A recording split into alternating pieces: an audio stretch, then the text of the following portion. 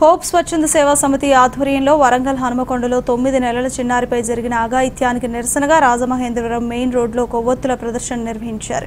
ఈ ర్యాలీలో వైఎస్ఆర్సీపీ మహిళా విభాగ ఫ్లోర్ లీడర్ మేడపాటి షర్మిల స్వచ్ఛంద సేవా సమితి సభ్యులు యువత పాల్గొన్నారు.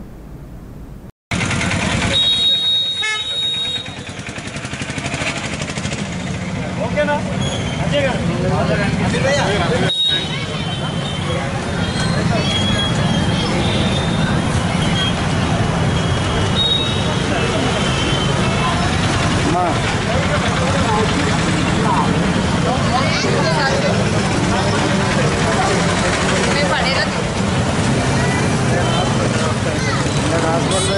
kayaknya. Nah, Oke, nah, ada kan? Udah.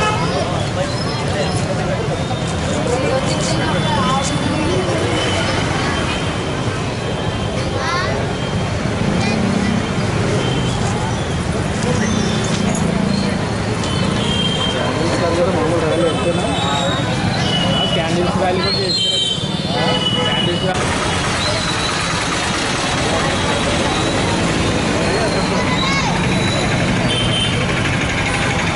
అటువంటి శిక్ష అతనికి ఇవ్వాలి తప్ప ఈరోజు మరి ఈరోజు ఏంటంటే వన్ డే గడిచినప్పటికీ కూడా అరెస్ట్ చేసి ఏదో చూస్తున్నది ఖచ్చితంగా పోలీసులు అది కరెక్ట్ కాదండి. ఈరోజు ఎందుకంటే మరి గతంలో ఆసిఫా విషయం చూసాం.